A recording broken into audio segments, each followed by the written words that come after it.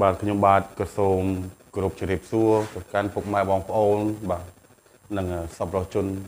ផ្សេងផ្សេងៗដែលរស់នៅក្រៅស្រុកបាទក៏ដូចជាពុកម៉ែបងប្អូនដែលកំពុងតែទស្សនានៅ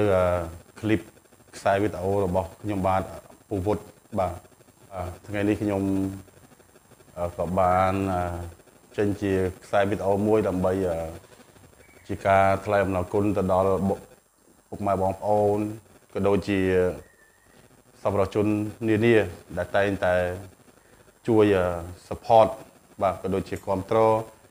នៅ channel របស់ខ្ញុំពូវុឌ្ឍបាទអាកាលពី2សប្តាហ៍មុនខ្ញុំបានបានធ្វើដំណើរទៅខេត្តសៀមរាបបាទក្នុងនោះខ្ញុំក៏បានទៅជួយអឺផ្ដល់ជាថវិកាខ្លះខ្លះបន្តិចបន្តួច បាទដែលជាថវិការបស់សប្បុរសជន បាទជូនទៅដល់លោកយាយព្រីងបាទលោកយាយព្រីងដែលគាត់រស់នៅអឺនៅភូមិព្រះដាបាទដែលគាត់អឺលោកយាយព្រីងគាត់មានប្រជជន83ឆ្នាំ បាទដែលគាត់អឺធ្លាប់ជួយឆ្អើរភ្លើងឲ្យបងប្អូនទូចនៅពេលដែលបងទូចអឺអឺកើតកើតពីផ្ទៃម្ដាយបាទហើយក្នុងនោះខ្ញុំក៏បានទៅជួប លោកយាយដែលគាត់កំព្រារស់នៅតែពីរអ្នកម្ដាយហើយកូន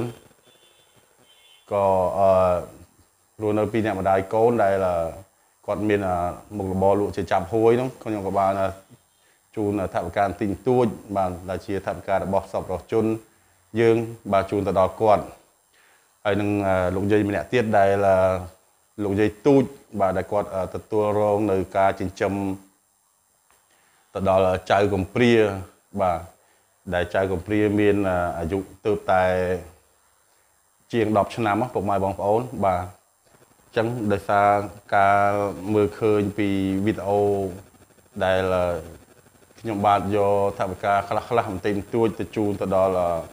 ពួកគាត់ដែលជាជនចាស់ជរាបាទដែលត្រូវរស់នៅម្នាក់ឯងហើយជីវភាពគាត់ក៏រៀងខ្សត់ខ្សោយ បាទដល់មើលឃើញដូចនេះហើយទើបបងប្រុសតារាសួនព្រមទាំងភរិយារបស់គាត់បងស្រីភីបាទដែលគាត់មានចិត្តសម្រោះតែគាត់បានផ្ញើជាថវិកាមកជូនតាមរយៈបងប្រុសមុខសំអល់ហៅបងម៉ៃកូមុខបាទចំនួន315ដុល្លារបាទដើម្បីយកទៅជួយទៅដល់លោកយាយទូចដែលគាត់ មានអភិរក្សចិញ្ចឹមចៅប្រុសកំព្រានោះពុកម៉ែបងប្អូនបាទអញ្ចឹងគាត់ក្នុង315ដុល្លារនោះគឺថ្លៃដែលផ្ញើមកហ្នឹងគឺចំនួន15ដុល្លារមកថ្លៃផ្ញើណាអញ្ចឹងខ្ញុំបាទក៏បានទទួលទឹកប្រាក់តាមរយៈបងប្រុសមុខសំអល់បាទចំនួនគ្រប់ចំនួនហើយបាទហើយក្នុងនោះបងប្រុសក៏បានបងប្រុសសួនតារាតារាសួនហ្នឹងបាទក៏បាន ផ្ដល់ជាថវិកាដើម្បីឲ្យខ្ញុំបាទធ្វើសហុយចំនួន50ដុល្លារនិងបងប្រុសតាក់50ដុល្លារបាទអញ្ចឹងពួកខ្ញុំទទួលបានហើយបងបាទបាទអញ្ចឹងទឹកប្រាក់ទៅសល់ទាំងអស់គឺចំនួន200ដុល្លារទៀតដើម្បីយកទៅជូនទៅដល់លោកយាយទូចបាទដែលគាត់រស់នៅភូមិមណ្ឌល3ស្រុកស្លក្រាមក៏ឃុំស្លក្រាម នៅខេត្តសៀមរាបបាទអញ្ចឹងដោយ មួយរយៈនេះខ្ញុំបាទមានសុខភាពមិនសូវល្អអញ្ចឹងខ្ញុំអត់ទាន់បានធ្វើដំណើរទៅទេពុកម៉ែបងប្អូនបាទអញ្ចឹងប្រហែលជាចុងខែនេះចុងខែនេះខ្ញុំត្រូវនាំយកទៅថវិកានោះទៅជូនទៅដល់លោកយាយទូចបាទដើម្បីឲ្យគាត់ដោះស្រាយជីវភាពបាទដើម្បីឲ្យគាត់ដោះស្រាយជីវភាពខ្លះខ្លះអញ្ចឹងណាពុកម៉ែបងប្អូនហើយឥឡូវនេះខ្ញុំក៏ទទួលដំណឹងពីអូនស្រីអូនស្រីស្រស់ដែលគាត់រស់នៅ ភូមិនោះដែរដែលគាត់ត្រូវជាចដូនមួយបងអូនតាក់បាទដោយទទួលដំណឹងថាលោកយាយទូចដែលគាត់មានបច្ចុប្បន្ន89ឆ្នាំ បាទដែលគាត់ទទួលភារៈចិញ្ចឹមចៅកំព្រានោះឥឡូវនេះគាត់ដួលគាត់ដួលអញ្ចឹងគាត់ដួលដោយបត្តិហេតុអីចឹងខ្ញុំអត់ទាន់ដឹងទេអត់ទាន់ដឹងច្បាស់ដឹងថាគាត់ដួលអញ្ចឹងពុកម៉ែបងប្អូនឥឡូវនេះគាត់ត្រូវការប្រាក់បន្ទាន់ដើម្បីទៅទិញជាថ្នាំទៅទិញ ដើម្បីទៅពេទ្យទៅអីចឹងណាបាទអញ្ចឹងខ្ញុំដឹងដំណឹងនេះតាមរយៈបងអូនស្រីស្រស់បាទហើយខ្ញុំក៏មិនទាន់បានទៅដល់ទីនោះដែរប៉ុន្តែខ្ញុំបានប្រាប់បងតាក់ឲ្យផ្ញើជាទឹកប្រាក់ថវិកា50ដុល្លារជូនទៅដល់លោកយាយហើយដើម្បីឲ្យលោកយាយអឺទទួលបានទឹកប្រាក់នោះដើម្បីទៅទិញជាថ្នាំទិញទៅទិញជាទឹកដោះគោដើម្បីយកមកពិសាអញ្ចឹងឲ្យគាត់មានកម្លាំងហើយនឹងឲ្យគាត់បានជាសះស្បើយពុកម៉ែបងប្អូនបាទអញ្ចឹងអឺ នៅអាទិត្យក្រោយនេះខ្ញុំត្រូវធ្វើដំណើរពីអ្នកប្អូនតាក់ដើម្បីយកទៅសួរសុខទុក្ខលោកយាយនិងនាំយកថវិកាសប្បុរសជនដើម្បីទៅជូនទៅដល់គាត់ផងបាទជាពិសេសថវិការបស់បងតារាសួននិងបងស្រីភីដែលជាភរិយារបស់គាត់បាទព្រមទាំងក្រុមគ្រួសារគាត់ទាំងមូលបាទវីដេអូនេះគ្រាន់តែខ្ញុំចង់បញ្ជាក់ថាទៅប្រាប់បញ្ជាក់ប្រាប់ពីអឺ ទឹកប្រាក់ដែលបងតារាសួន ដែលគាត់បានផ្ញើមកតាមរយៈបងប្រុសមុខសំអល់បាទខ្ញុំបាទអឺគ្រាន់តែចង់ប្រាប់ថាខ្ញុំបាទបានទទួលឲ្យបង បាទបានទទួលគ្រប់ចំនួនហើយបាទដូច្នេះរងចាំនៅចុងសប្តាហ៍នេះបាទខ្ញុំនឹងធ្វើដំណើរទៅទីនោះដើម្បីយកទឹកប្រាក់នោះទៅប្រគល់ជូនលោកយាយដល់ដៃបាទសូមអរគុណទៅកាន់បងប្រុសច្រើនបាទដែលបងប្រុសមានប្រុសមានចិត្ត ជួយទៅដល់ជនចាស់ជរាបាទដែលបានផ្ដល់ជាថវិកាទាំងអស់នេះបាទមកតាមរយៈបងប្រុសមកសំអល់ដើម្បីឲ្យខ្ញុំនាំយកទឹកប្រាក់ទាំងអស់នេះទៅជូនទៅដល់លោកយាយបាទវីដេអូនេះគ្រាន់តែខ្ញុំចង់បង្ហាញប្រាប់ទៅដល់បងប្រុសតារាសួនព្រមទាំងភរិយានិងក្រុមគ្រួសារបាទថាខ្ញុំនឹងខ្ញុំទទួលបានថវិកាទាំងអស់នេះគ្រប់ចំនួនហើយបងបាទ ហើយក្នុងនោះខ្ញុំត្រូវធ្វើដំណើរទៅយកអត្ថបការនេះទៅជូនទៅដល់លោកយាយទូចនៅអាទិត្យក្រោយ បាទខ្ញុំនឹងធ្វើដំណើរទៅទីនោះបាទអញ្ចឹងក៏សូមអរគុណទៅកាន់បងប្រុស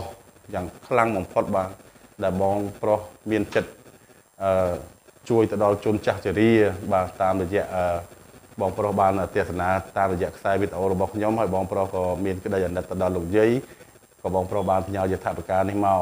បាទខ្ញុំក៏សូមអរគុណបងប្រុសច្រើននិងបងស្រីបាទហើយក៏បានបងប្រុសបងស្រីបានឲ្យជាថាបការមកខ្ញុំដើម្បីធ្វើរហុយម្នាក់50ដុល្លារដែរអញ្ចឹងចុងក្រោយខ្ញុំក៏សូមជូនពរទៅកាន់បងប្រុសនិងគ្រប់គ្រួសារបាទសូមបងប្រុសទទួលបានមគ្គផលទាំងអស់នេះផងបងបាទនិងសូមបងប្រុសមានអាយុយឺនយូរសុខភាពល្អបាទ និងជូនពរទៅកាន់ពុកម៉ែបងប្អូនទាំងអស់បាទដែលតែងតែទស្សនា Channel របស់ខ្ញុំបាទពូវុតបាទ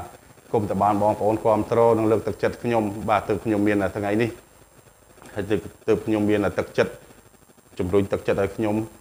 នឹងធ្វើវីដេអូសពរស់ជនបន្តទៀតបាទហើយសូមជម្រាបផងដែរព្រោះថាខ្សែវីដេអូក្រោយនេះខ្ញុំត្រូវយកនាំយកថវិកាមួយចំនួន ខ្លះខ្លះបាទដើម្បីទៅជួយទៅដល់ពុកម៉ែបងប្អូនជនចាស់ជរាដែលគាត់រស់នៅខេត្តតាកែវបាទខ្ញុំដោយខ្ញុំធ្វើដំណើរទៅជាមួយប្អូនតាក់បាទដែលមានលោកយាយម្នាក់ដែលគាត់ពិការភ្នែកដែលរស់នៅម្នាក់ឯងផងដែរនិងលោកយាយម្នាក់ទៀតដែលគាត់រស់នៅម្នាក់ឯងហើយគាត់មានលបជាអ្នកដើរលាងចាននិងបោកកៅអៅឲ្យគេពុកម៉ែបងប្អូន